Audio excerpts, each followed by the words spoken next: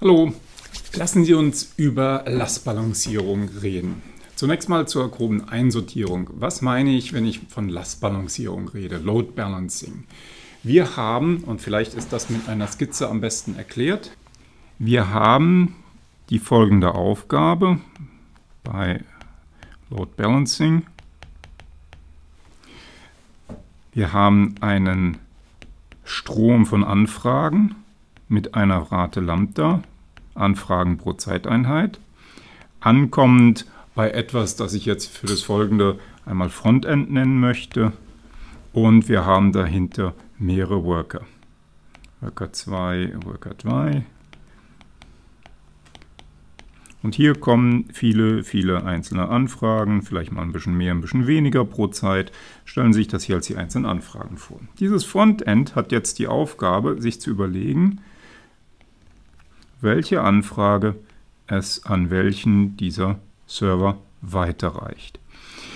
Load Balancing meint, dass die Last, die auf diesen einzelnen Servern, auf diesen einzelnen Workern hier ankommen sollte, ungefähr gleich sein sollte. Also Ziel, Last gemittelt über der Zeit. Natürlich wird sie instantan immer sich etwas schwanken. Gemittelt über Zeit. Ungefähr gleich. Warum macht man das? Naja, das Argument ist relativ simpel. Stellen Sie sich das wieder als ein Queuing-System vor. Und nehmen Sie an, Sie hätten hier eine einheitliche Servicerate. Lambda ist die Anfragerate und μ ist die Abarbeitungsrate oder Service Rate.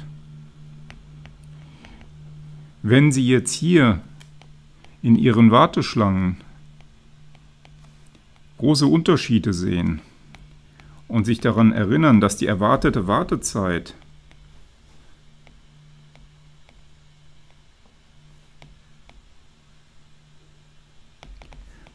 ja 1 durch 1 minus Lambda durch μ ist.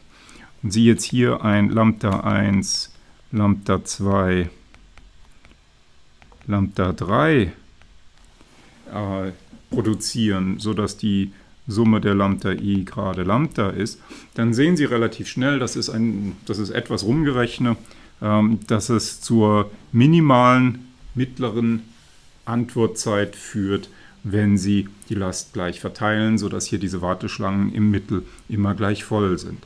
Das ist das mathematische Argument dafür, ähm, es ist, gibt noch das weitere Argument für den Ausfall. Angenommen, eines dieser Systeme fällt Ihnen aus. Wenn es jetzt ausgerechnet das System war, das schon viel Last in seiner Warteschlange hatte und Sie vielleicht auch noch die Warteschlange damit verlieren, dann hätten Sie viele Anfragen verloren. Das wollen Sie auch nicht unbedingt. Das ist vielleicht auch ungeschickt. Also, wir möchten gerne in einer solchen Situation, in der wir Anfragen von einem System an weitere, mehrere Systeme dahinter weiterreichen, gerne eine Gleichverteilung davon. Ähm, als Randbemerkung, unter Energieeffizienzgesichtspunkten ist das typischerweise nicht sinnvoll. Da ist es sinnvoller, wenn Sie die Last auf möglichst wenige Systeme zusammenziehen, um andere Systeme abzuschalten. Das ist aber nur sinnvoll, wenn Sie wirklich abschalten können. Bleiben wir hier im Lastbalancierungsfall. Was muss ich mir dazu jetzt überlegen? Das hat zwei Aspekte. Das hat erstens den Aspekt, dass ich mir den Mechanismus überlegen muss, wie ich das tatsächlich tue. Wie gebe ich jetzt tatsächlich die Anfragen von einem Klienten an meine mehreren Server weiter, an meine mehreren Worker weiter, sodass ich tatsächlich korrektes semantisches Verhalten bekomme. Das zweite ist der sogenannte Policy-Aspekt.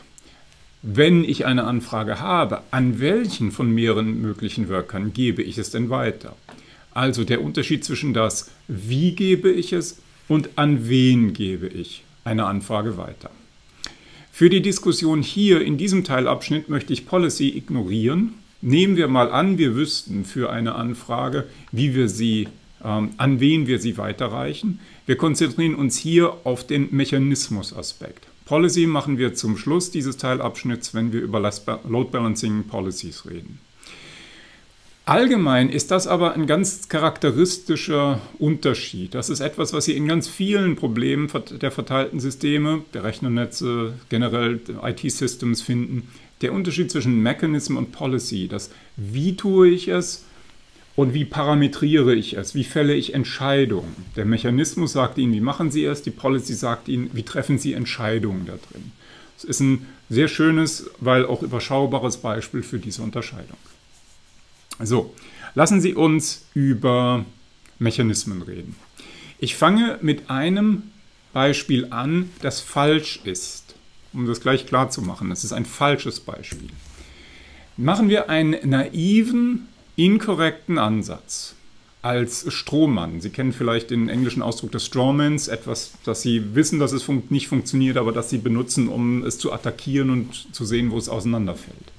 Also, meine Idee ist folgendermaßen. Ich habe zur Struktur hier einen Klienten, der eine IP-Adresse hat, 5678.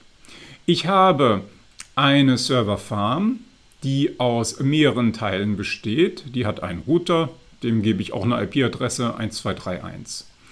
Ich habe ein Frontend, das ist das entsprechende Pendant zu dem, was wir uns als, als äh, Dispatcher ausgedacht haben im Ein-Prozess-Fall. Das ist das Frontend, läuft auf einem eigenen System, hat seine eigene IP-Adresse 1232. Und ich habe im Allgemeinen mehrere, hier aber nur einen einzigen gezeigten Worker 123 101. 102, 103, 104, 105 zeige ich alle hier nicht. Wie gesagt, das Policy-Problem machen wir später. So, der Klient wird sich jetzt fragen, ich möchte gerne auf die, auf die Webseite www.bla.com zugreifen. Woher weiß er jetzt, welche IP-Adresse? Er muss mit DNS reden. Äh, DNS schauen wir uns gleich noch im Detail an, aber die Grundidee DNS als ein Namensauflösungssystem, die hatten wir uns ja schon mal angeschaut. Ähm, DNS wird Ihnen sagen, ja, www.bla.com, das findest du bei diesem Frontend 1232. Also Sie bekommen als Antwort 1232 zurück auf Ihre Anfrage, wo finde ich denn bla.com. Naja, und dann passiert das, was naheliegenderweise passiert. Sie schicken über das Internet, über diesen Router an dieses Frontend ihr, ihre, ihre GET HTTP-Command auf irgendeine home.html, was auch immer. Ähm, und das Frontend hat sich jetzt entschieden, dass es diese Anfrage gerne durch diesen Worker abgearbeitet haben möchte und reicht das äh, IP-Paket entsprechend hierhin weiter. Auf IP-Ebene müsste man sich jetzt noch genau nachdenken, wie das eigentlich funktioniert, welche IP-Adressen hier eigentlich dastehen. Passiert das auf IP oder passiert das eigentlich auf Ethernet-Ebene? Ähm, nochmal eine interessante Frage, ignorieren wir jetzt hier für, für einen Moment. Was wir jetzt hier tun, weil, es ja, weil wir ja schlau sind und effiziente Lösungen haben wollen, wir haben jetzt hier das bearbeitet, haben gefunden, was wir hier ausliefern sollen, von Platte gelesen, was auch immer, und schicken jetzt direkt vom Worker die Antwort an dieses Gerät hier zurück, an den Client zurück. Naja, und das schreiben wir natürlich als Absenderadresse, wie sich das gehört, meine eigene IP-Adresse rein. 1.2.3.101. Okay. Ja, alles gut, ne? kein Problem. Ähm, das wird hier weitergeleitet, das wird hier weitergeleitet, das kommt dann auch irgendwie an. Und was passiert jetzt? Was passiert beim Kleinen? Beim Kleinen passiert was Komisches. Beim Kleinen passiert äh, Folgendes. Sie haben eine Anfrage, eine TCP-Anfrage an 1232 geschickt und Sie bekommen eine Antwort von 123 101. Was haben die miteinander zu tun? Die haben nichts miteinander zu tun. Das ist für den Kleinen überhaupt nicht ersichtlich oder plausibel, dass dieses Antwortpaket, dass dieses IP-Paket eine Antwort zu dieser Anfrage ist. Die werden nicht zu der entsprechenden TCP-Verbindung zugeordnet werden. Ähm, das ist das sogenannte TCP-5-Tuple, das da eine Rolle spielt, aber wie auch immer, es gehört nicht zu, die, es gehört nicht zu dieser TCP-Verbindung. Das heißt, er wird dieses Paket hier, dieses IP-Paket, einfach verwerfen. Es ist ein Paket von einer nicht erwarteten IP-Adresse, das behauptet, eine Antwort zu sein. Da könnte ja jeder kommen. Könnte ja jeder kommen und Ihnen irgendwelche Antworten schicken. Also ganz so dämlich stellen wir uns nicht an. Natürlich schmeißen wir als Klient dieses Paket hier weg. Okay? Ja. Jetzt könnte man natürlich sagen, und wäre das eine richtige Vorlesung, würden wir das jetzt sicherlich interaktiv diskutieren können. Von daher, ich hoffe, dass Sie das jetzt trotzdem noch irgendwie im Video nachvollziehen können. Jetzt könnte man natürlich sagen, naja, aber das ist doch hier, hier war doch das Problem. Wieso habe ich mich denn hier entschieden, als Absenderadresse 1.2.3.101 äh, reinzuschreiben? Das ist doch eine idiotische Idee. Natürlich wird der Client so reagieren. Ich bin doch noch schlauer. Ich schicke doch hier als Worker mein IP-Paket mit der Absenderadresse 1.3.2 los und werde es hier entsprechend lossenden. Sodass der Client hier denkt, wunderbar, das ist die, Absende, die richtige Absenderadresse, das ist genau das Paket, das ich haben möchte. Interessanterweise, das funktioniert auch nicht. Das hat jetzt weniger mit verteilten Systemen zu tun, das hat mit der Struktur von IP, ARP, Firewalls etc. zu tun. Ähm, das ist ein schöner Punkt, über den Sie mal nachdenken können. Gerade wenn Sie eine Rechnernetze-Vorlesung schon hatten, sollte Ihnen das klar werden, was die Probleme dabei sind. Ähm, das können wir dann gerne online mal besprechen. Hier möchte ich das eigentlich nicht weiter vertiefen. Wenn das hier jetzt aber also nicht funktioniert, wenn ich also nicht direkt von dem Worker Pakete zurückschicken kann, na gut, dann finde ich mich damit ab, dann schicke ich das Paket halt wieder zurück an das Frontend. Also tatsächlich eine funktionierende Lösung wäre, ich mache genau das, was fast genau das, was ich eben getan habe, schicke aber die Antwort über das Frontend zurück. Will folgendermaßen aussehen. Mein Klient schickt wieder seine URL an DNS, bekommt die IP-Adresse des Frontends zurück, schickt sein GET, schickt sein GET. Das Frontend reicht dieses GET-Kommando weiter an den Worker und bekommt ein Reply zurück. Hier müsste man sich jetzt noch scharf nachdenken, genauer überlegen, was jetzt hier wieder auf IP- und Ethernet-Ebene eigentlich passiert. Ähm, lassen das mal weg. Das ist, würde eine Vertiefung in Rechnernetze hier erfordern, damit man sich hier klar macht, welche Pakete hier eigentlich äh, unterwegs sind. Ähm, ist auch eine schöne Hausaufgabe, wenn Sie das vertiefen wollen. Ähm, also wir schicken das hier an das Frontend zurück und das Frontend schickt das Paket hier über den Router an den Client zurück und der Client findet alles gut, das ist genau das, was er erwartet hat. Er hat hier genau diese Antwort bekommen. Ist das eine gute oder eine schlechte Lösung? Wie sieht das denn aus? Naja, es hat sicherlich den Vorteil, es ist eigentlich ziemlich simpel. Ähm, es funktioniert alles ganz gut. Das passt auch gut mit der TCP-Semantik zusammen. TCP-Semantik hat diese Vorstellung ebenfalls von einem Fate-Sharing, ähm, dass ähm, die Verbindung solange erst dann bestätigt werden darf, dass die Daten erst dann bestätigt werden dürfen, wenn es der eigentliche Klient empfangen hat und erst dann sie eine Verbindung abbrechen können. Ähm, es passt also auch gut mit der TCP-Semantik zusammen, das, das stimmt soweit alles. Aber, und das ist jetzt natürlich doch ein signifikantes Aber, äh, was haben wir denn hier erreicht? Wir haben jetzt zwar hier Arbeit für das eigentliche Bearbeiten der Anfrage auf unsere Worker ausgelagert. Wie gesagt, hier sind ganz viele. Aber das Abwickeln des eigentlichen Netzverkehrs, das machen wir immer noch über das Frontend. Und das kann schon Arbeit sein. Und ein zweites, ein zweites Problem, das wir noch nicht gelöst haben, ist, was passiert eigentlich, wenn ich jetzt einen nicht völlig zustandslosen Verkehr, zustandsloses äh, Applikationsmodell habe.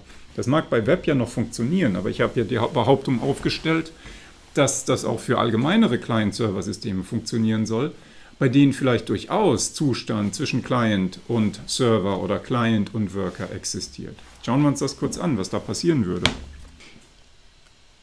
Wenn ich also diese Lösung 1 mir anschauen würde, aber im Stateful-Fall, was würde denn dann passieren?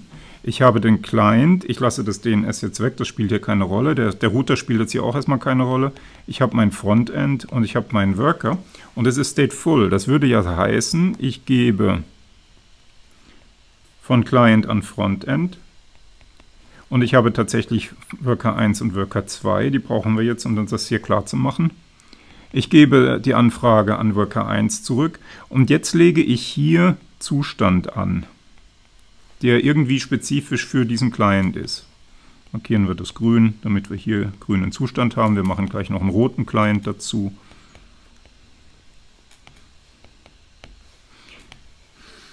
Ähm, dann gebe ich hier eine Antwort zurück, gebe die Antwort zurück und soweit alles gut. Aber was passiert jetzt? Jetzt kommt eine zweite Anfrage, die darauf Bezug nimmt. Die den Zustand weiter bearbeiten möchte. Was muss ich mir jetzt hier im Client überlegen? Ich muss mir hier im Client über, im, im Frontend überlegen, an dieser Stelle muss ich nachdenken und herausfinden, dass Client A zugeordnet wurde zu Worker 1, weil nur auf Worker 1 dieser Zustand existiert. Ich muss es hierhin weiterleiten. Würde ich inkorrekterweise diese Anfrage an Worker 2 weiterleiten, würde ich hier ja versuchen, auf einen grünen Zustand zuzugreifen, den es hier aber nicht gibt und damit würde das scheitern. Das heißt, ich muss mir jetzt hier im Frontend Zustandsinformationen merken, welche Clients auf welche Worker abgebildet wurden.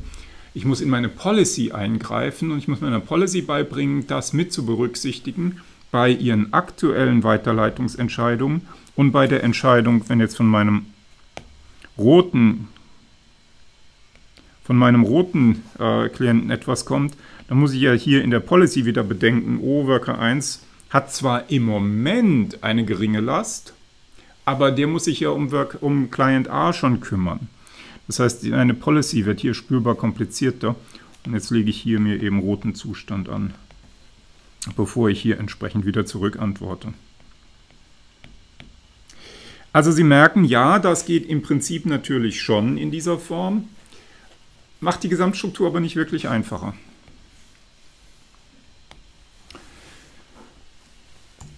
Das steht im Prinzip hier alles nochmal da. Der wesentliche Punkt ist eben die, die Zustandsinformationen, die ich mir im Frontend aufbewahren muss. Vielleicht möchte ich das nicht. Vielleicht bin ich bereit, einen gewissen Preis dafür zu bezahlen, dass ich mein Frontend hier einfacher halten kann. Was wäre denn ein möglicher Preis? Der Preis ist immer, Zustand aus meiner Serverinfrastruktur herauszuschieben. Ich möchte mir nichts in der Serverinfrastruktur merken. Wer kann sich alternativ etwas merken? Der Client. Der Client hat in der Regel nichts zu tun. Ein Client ist normalerweise deutlich unterbeschäftigt im Vergleich zu einer Serverinfrastruktur bei solchen interaktiven Anwendungen. Das heißt, dem Client den Auftrag zu geben, sich ein bisschen Zustand zu merken, mit welchem Worker er reden soll, das ist vielleicht zumutbar. Das ist Idee 2. Und das hatten wir ja schon vorbereitet, diese Idee, indem wir gesagt haben, HTTP kann ein sogenanntes Redirect durchführen. Und genau das machen wir uns hier zum, zunutze. Ich benutze die Fähigkeit von einem Webserver an einen Webclient, die Information zu schicken. Frag nicht mich, frag ihn. Wie funktioniert das?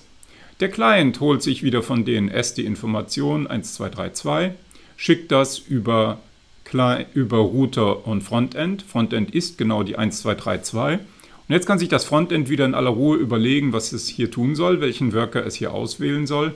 Und jetzt schickt er hier ein Redirect an 123 101, Worker 1. Worker 1 ist der, der gerade nichts zu tun hat.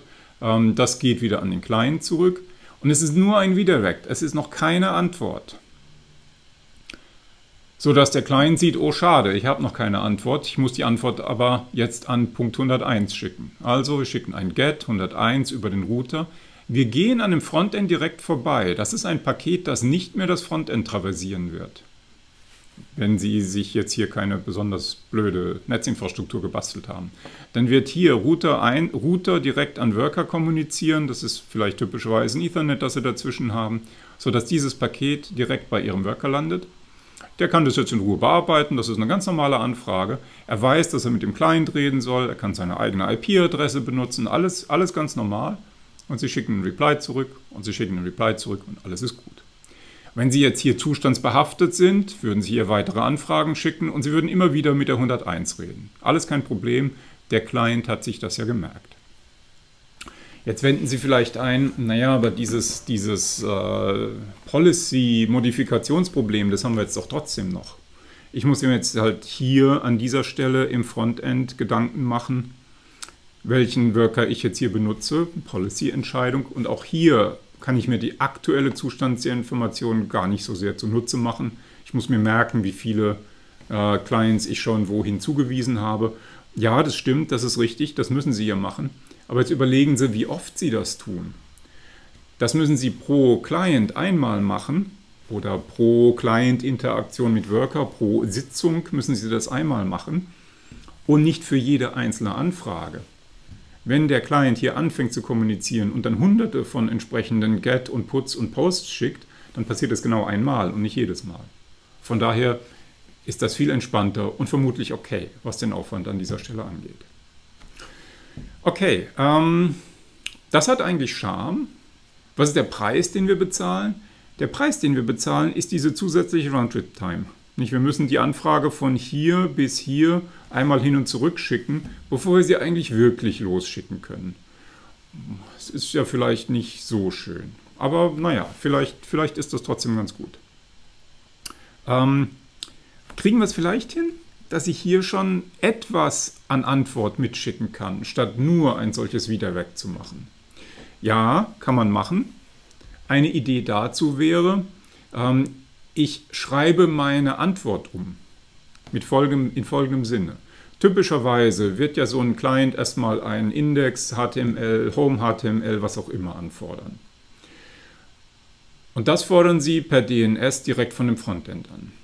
Und das Frontend wird ja doch bitte vielleicht in der Lage sein, so eine einzelne statische HTML-Seite auszuliefern und in dieser HTML-Seite eine klitzekleine Sache zu machen. Sie ersetzen hier drin alles Auftauchen von bla.com durch, durch 1.2.3.101, durch den durch Ihre Policy ausgesuchten Worker. Bei der nächsten Anfrage des nächsten Clients kommt hier nur 102.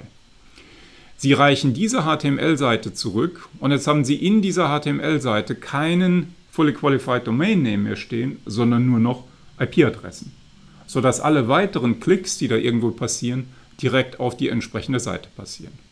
Ist ein Rewriting, ein Rewriting der entsprechenden HTML-Seite. War eine Zeit lang populär, ist in letzter Zeit eigentlich eher unüblich, ähm, eher durch Redirects ähm, ersetzt. Okay? Was können wir noch machen? Gehen wir auf das Bild davor nochmal kurz zurück. Wie ist das? Wir holen uns diese Redirect-Information jetzt hier von dem Frontend, bezahlen hier diese zusätzliche Roundtrip-Time. Ist das schlau? Ist das das, was wir wollen? Wir, wir haben doch hier noch eine Möglichkeit. Wir haben hier doch schon mal uns einen Namen aufgelöst. Eigentlich ist das ja fast nochmal so eine Art Namensauflösung. Wobei wir hier von IP-Namen zu IP-Namen auflösen. Ist ein bisschen schräg, ich weiß, ich missbrauche hier die Notation und die Terminologie etwas, aber von der Idee her, ich bilde Namen auf Namen ab, ist nicht so viel anders. Aber warum mache ich das denn nicht ordentlich hier? Kann ich nicht dem DNS beibringen, so etwas zu tun? Kann ich dem DNS eine Policy-Entscheidung aufbürden, die mir dann den Mechanismus vereinfacht? In folgendem Sinne. Ich lasse das DNS direkt den entsprechenden Worker aussuchen und dann sieht das Bildchen anders aus. Dann trage ich als Frontend, wer auch immer, nehmen wir das Frontend, mehrere Arbeiter hier in dieses DNS-System ein, sodass unter dieser Domain, unter diesem Fully Qualified Domain Name jetzt mehrere IP-Adressen zur Verfügung stehen, und zwar die der Worker, nicht die des Frontends.